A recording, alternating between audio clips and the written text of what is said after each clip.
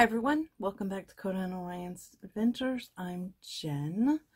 Um, today we are going to do a look with the Ace Butte, Butte, Butte, I don't know how you really pronounce it, um, vintage Dawn palette that we got in our BoxyCharms. Um, I also have, I was looking through my makeup, and I have some little um, they're kind of like super shock shadows, I guess, that we got know, quite a few months ago in our boxy charms as well. And um, let's see if I can get them open because it's been a while. I remember these being absolutely stunning shadows. As you can see, I've used them. Um, this is a very beautiful gold shadow. And then this really I think I just swatched this one. Um, like a rose gold color. I'm gonna have to use this one. Um, but that gold color is gorgeous. I do remember using that. So I have used their shadows before, but this is the first time I've ever used a palette. So I shouldn't say that. I did use it on a friend the other day. This is the first time I've ever used it on myself. So we're going to go in and I have a very specific look in mind today. So we're not winging it like we normally are. Um, but here's what it looks like. It's a very beautiful palette. Um, lots of different variety here. Uh, you could create a great deal of different, very beautiful, very, very, very drastic looks. You could go from a warm look, a very warm look, um, using a lot of these uh, brown shades with some of that army green there, Kelly green, um, and then this like almost a burgundy brick red color. And then maybe throw in some of these oranges, which I am going to use some of the oranges today uh, and make a very warm look with it. Or you could go completely opposite and make a very, very cool look with these blues and maybe throw in some of these yellows. It's a very versatile palette.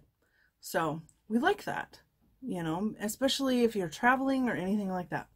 So very good. But today we're going to kind of do a bit of a sunsetty type of look. You'll get my vibe. You'll get it. I promise.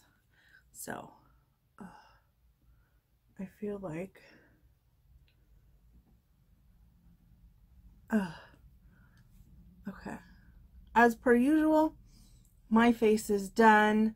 I have my Juno & Co. primer on. I, have also tried this, um, I put this Farsali um, liquid glass on.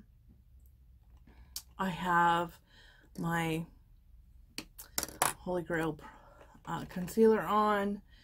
My, this is now my Holy Grail uh, foundation, CC or BB cream uh, on. I have, I did not do a cream contour today. I just did uh, some bronzing powder out of the Tarte Clay Play palette, uh, some Milani blush. Uh, let's see.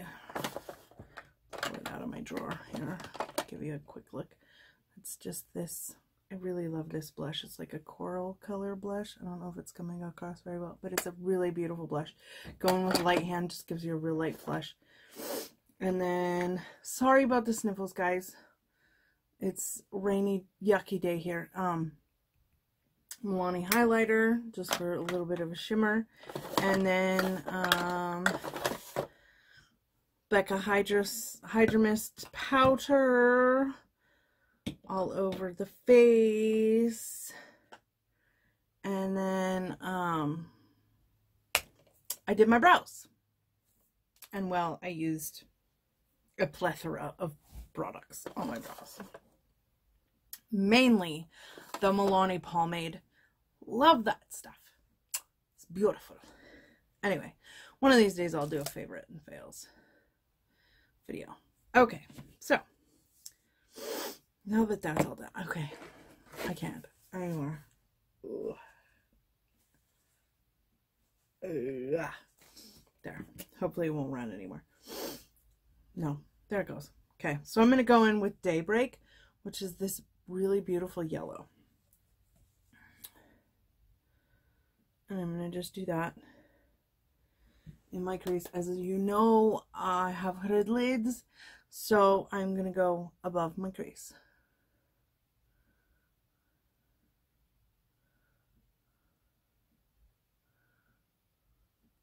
How did I get glitter on my face?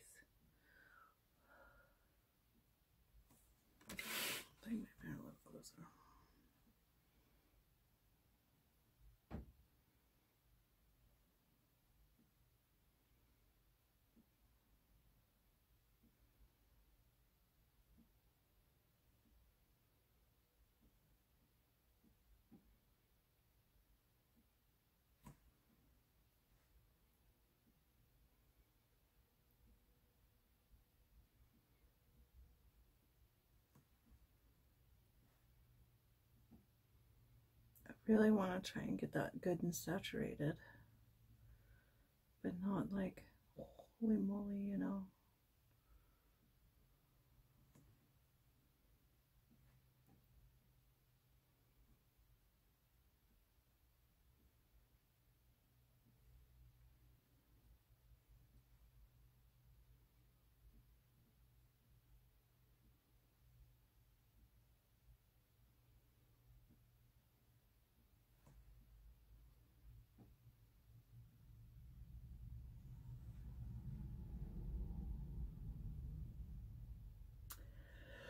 Oh, so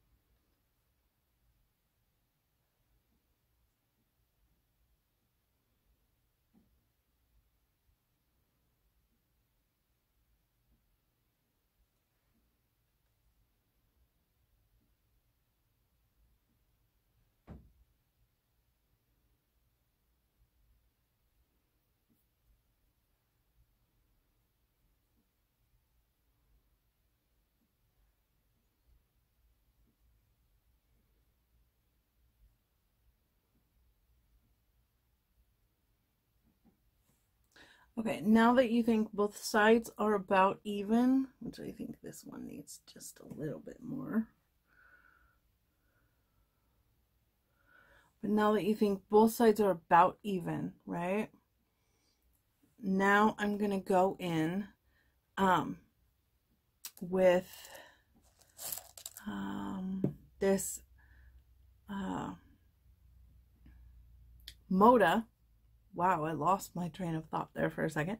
This Moda brush, because it's a little bit pointier. Can you see it? So it's a little bit finer detail.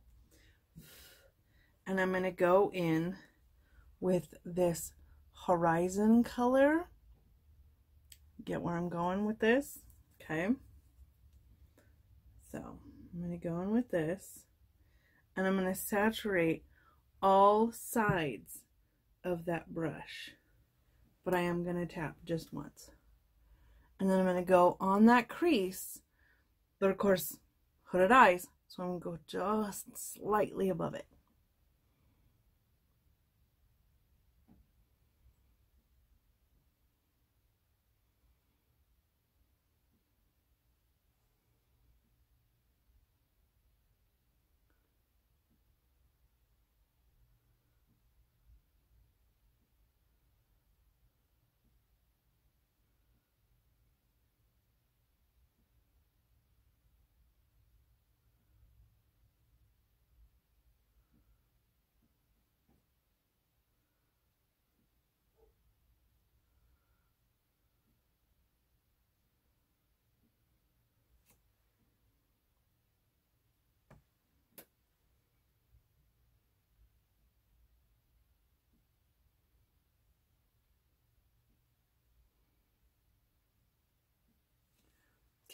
Now, take that brush, this brush, now you're using a double-ended brush, and just blend that a little bit, real lightly. Use a very, very, very light hand. Just blend that, kind of do circular motions. That's what I do. And it just softens that ever so slightly into that yellow. But you don't lose that orange gradient. Let's see what happened. Okay. So now we move to the other eye.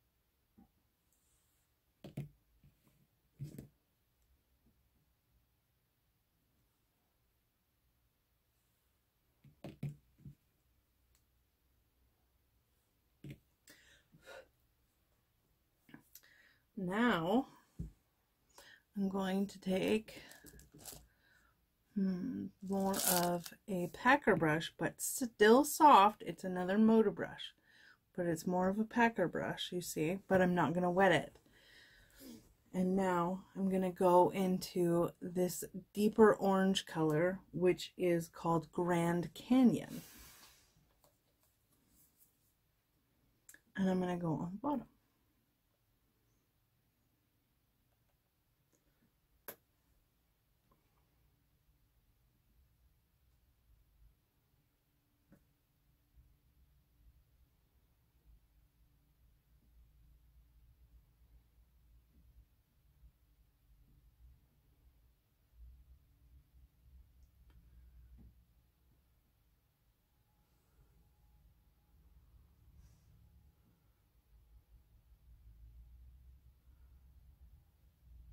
I'm filling in that white space that was there.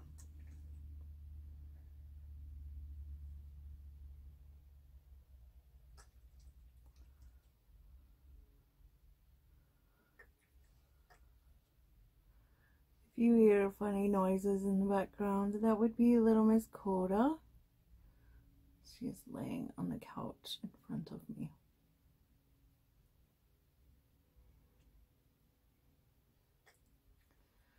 Relaxing. So see what that did? Okay, now I'm going to do that on the other side.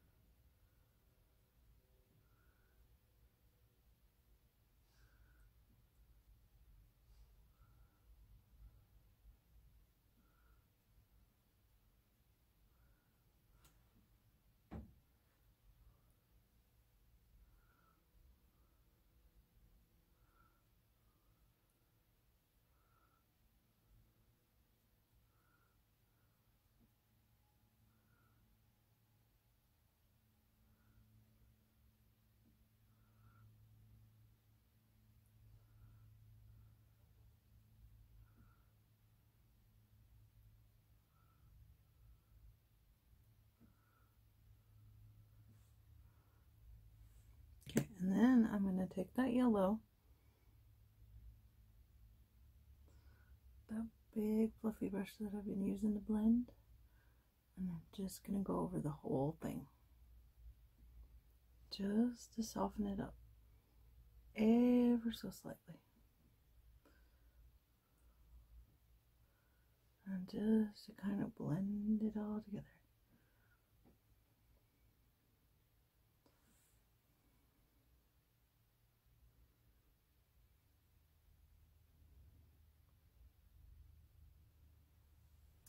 Yeah.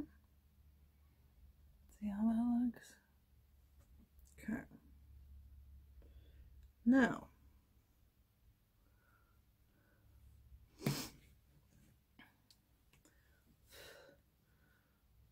now we could add a little red shimmer with this um, gleam color or we could do a little sunset on the water, right?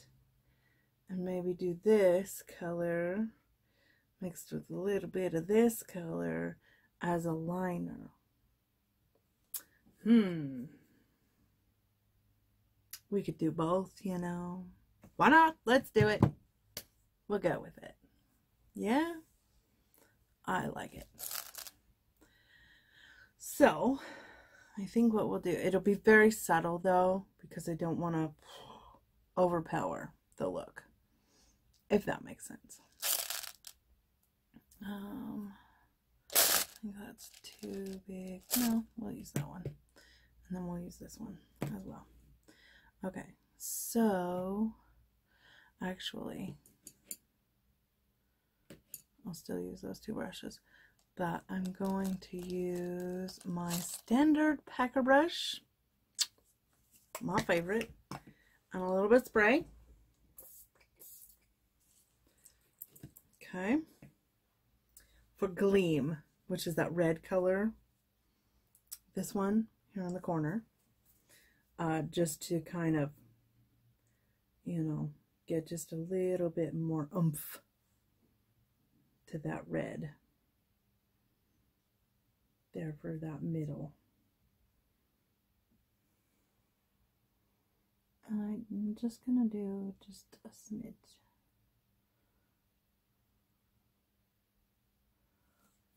I'm going to take this brush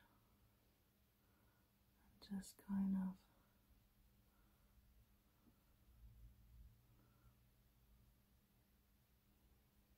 move it around a little bit. I'll use the back end of it.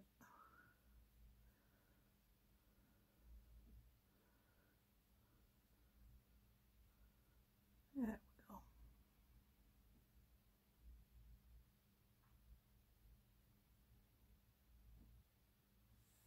Yeah, because I don't want a lot. I don't want it to, you know, overpower everything.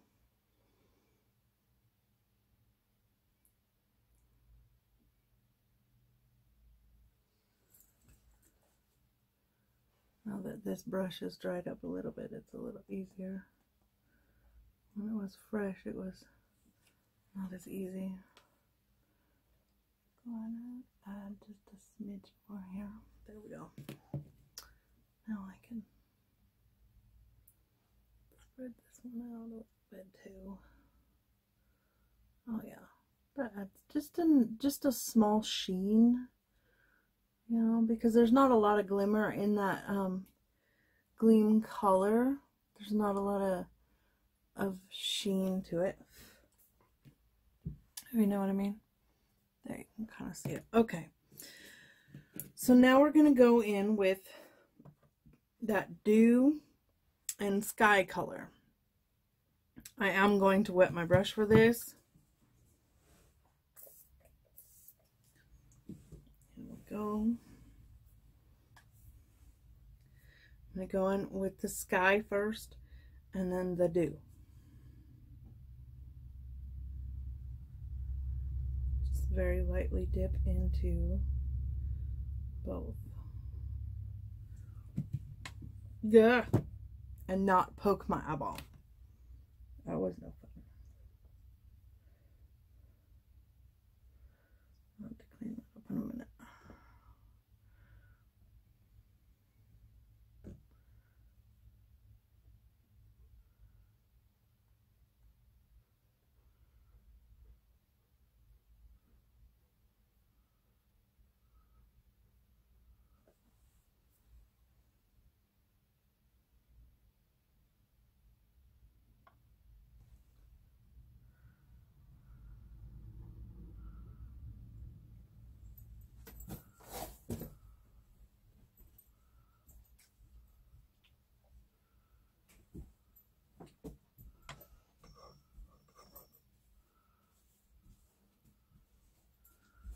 Okay. There's that eye.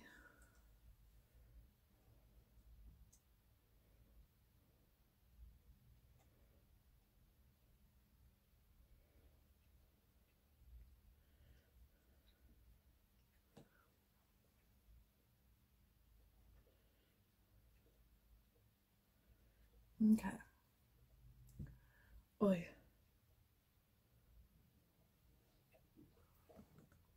There we go. It's just very subtle. Very, very subtle. Okay. So now we will. I think I'm going to re-wet my brush though. Just to. Sorry, Kota. Just moved over here. So. I'm going to redo that. And dip here. Now we'll see if I can recreate that on the other side.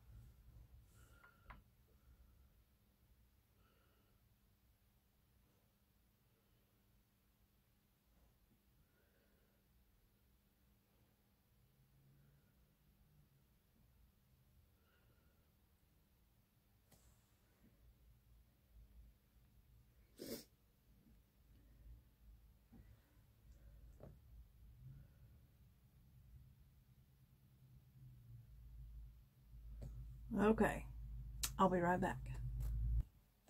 Okay, so I'm back. Uh, I finished my look. So I have the Maybelline. Yeah, Maybelline Baddest Beige. It's my favorite bad um, nude out there on my lips. I put the uh, the um, sky on my under eye and then I also put the Grand Canyon underneath it just to kind of smoke it out.